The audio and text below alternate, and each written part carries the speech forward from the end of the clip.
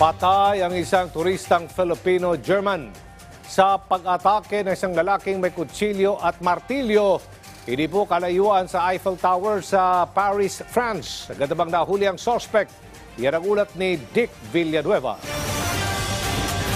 Nagkalat ang mga pulis sa Grenelle area sa Paris noong Sabado ng gabi. Kasunod dito ng walang habas sa pag-atake ng isang lalaki sa ilang turista, ilang metro lang mula sa Eiffel Tower. Ang mas masaklap, napatay sa insidente ang isang Filipino-German. Kinilala ang suspect na si Arman Rajab Pourmian Duab, isang Franco-Iranian. Base sa investigasyon, bigla na lang nagwala ang lalaki na may dalang kutsilyo at martilyo. Una na niyang sinaksak sa likuran ang Phil German. Nang habulin ng mga pulis, tumawid si Mian Doab sa pagitan ng tulay ng Bir Hakim at President Kennedy, kung saan inatake naman niya ang mga nagdaraang tao, kabilang ang isang French citizen at isang British na nasugatan dahil sa tama ng martilyo. Di nagtagal ay nasa kote rin ng mga pulis ang suspect gamit ang taser. Sa kanyang pagkakahuli, idinikrara ni Mian Doab sa mga otoridad na hindi na niya kaya pang tanggapin ang mga Arab na pinapatay sa Afghanistan at Palestine at gusto niyang mamatay bilang martir na handang pumatay ng tao.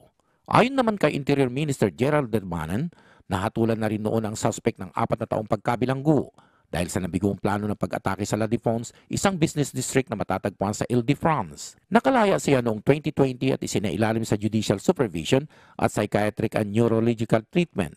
Pero sa kanyang paglabas sa kulungan, ipinagpatuloy umano niya ang pakikipag-alyansa sa mga terorista. Nagpapagaling na sa Hospital Hotel Joe ang mga sugatan, pero wala pang ibinigay na detalye sa namatay ng Pilipino-German. Ayon sa Embahada ng Pilipinas sa Paris, nakikipag-ugnayan pa sila sa mga otoridad para makakuha ng tamang impormasyon sa krimen. Nag-aalala naman ang mga malalapit na kaanak at kaibigan ng dalawang Filipina nurses na kasama ng namatay na biktima noong siya inatake. Tumanggi na itong magpaulak ng interview ang pinsan ng isa sa mga nurse pero nagpadala na lang siya ng text na nagsasabing ligtas naman ang dalawa. Mula dito sa Paris, France, Dick Villanueva para sa Bayan.